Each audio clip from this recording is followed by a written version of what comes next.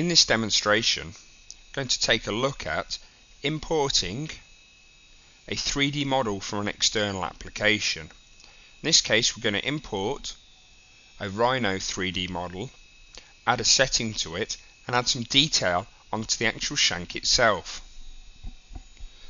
So the first thing I'm going to do is create a new project.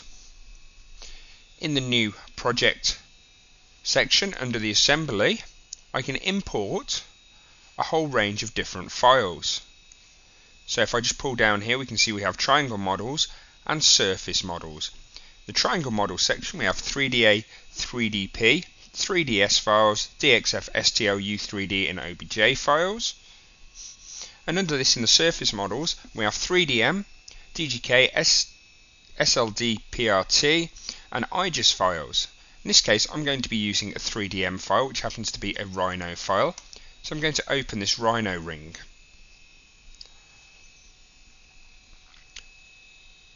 So when this Rhino ring comes in, we'll see it's just the actual shank of the ring itself. And it's something that would be slightly more complicated to model within JewelSmith itself. So we can see here we have these actual bands linking around the edge of the actual shank itself. Now I just need to add a setting to this.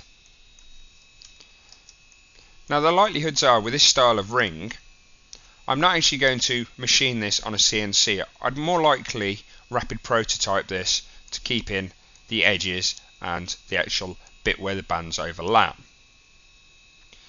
Now using the mesh library, the component library, I have the choice here to use actual um, import shanks if I wanted to.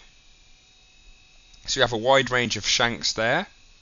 I'll just open one of these to show you exactly what it looks like.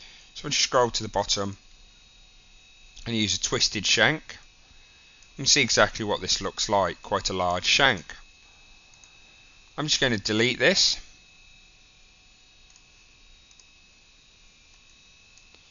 and I'm actually going to use a setting. Setting I'm going to use will be a square setting so I'm going to use this setting here. I'm going to have it the size of a 3 mil, and I'm then just going to nudge this into place. So I'm just nudging this up until I get it exactly as I want it.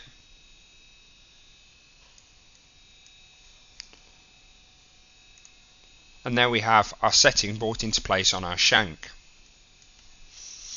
Now if I wanted to now, I could view it in whatever colour material I'm going to make this ring from.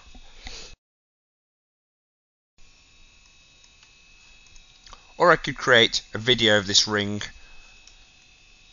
actually rotating. So it will create a video of the ring actually spinning so your customer will be able to see the whole ring moving round.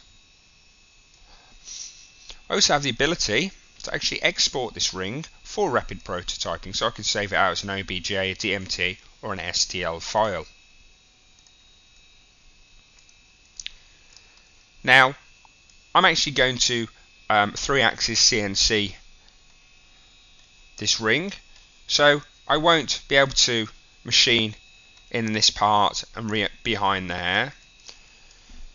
So what I'm actually going to do now is actually create this ring into a model. So if I select create rotary relief, it will then flatten this ring out into a model for me so I can actually start to model on the shank itself.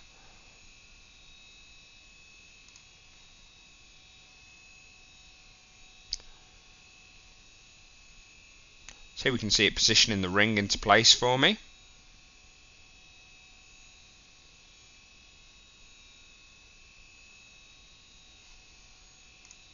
If I just turn off my master.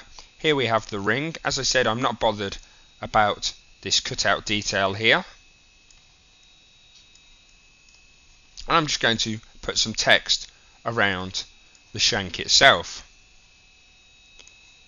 So if I turn on my preview layer create myself a nice new layer. I'm actually going to type some text just along here. So I'm going to open my text tool. To change the size.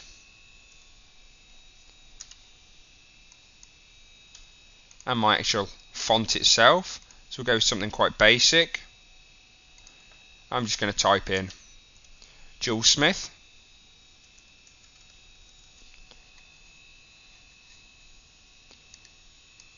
and adjust my line spacing.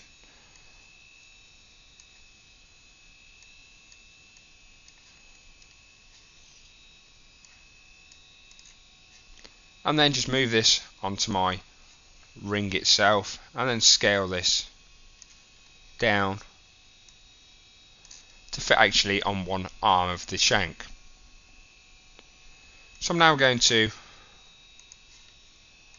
just subtract this into the model itself. If we take a look at the shank, we can now see we have JewelSmith cutting into the side. Now we could go into a lot more detail and on this section here we could sink a, um, a gem in there as well and we could go through all of these and sink them in. But for now, I'm just going to show you how we can add this back to the model and how we can view the changes on this. So using the mesh creator, we're going to close it with the back relief. So the mesh creator takes over our old add to master. And then when the triangles are created, we can just say add to project and this will add it back to our project. Again, we can work out the actual weight of the ring. We're just going to add it to the project and it will tell me it's successfully been added to the project. and if I just close this model down and view this within my assembly. Turn my assembly on I'll have my ring with my text cut into it. Possibly if I'd created some new gems as well the gems could be sunk into this with my setting in place and I could have this ready for machining. To machine it, I use the 3D machining wizard and I work my way through the wizard to actually get my finished machining of the ring. Now I'm not going to do that. It takes a few minutes to go through this process.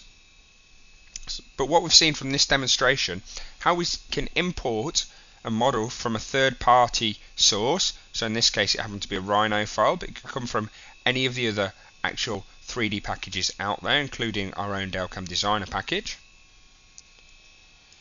And actually managed to model this and make edits on the ring itself, how I could actually export it for rapid prototyping, or how I could actually machine it within ArtCAM itself for um, 3D CNC machining of the ring.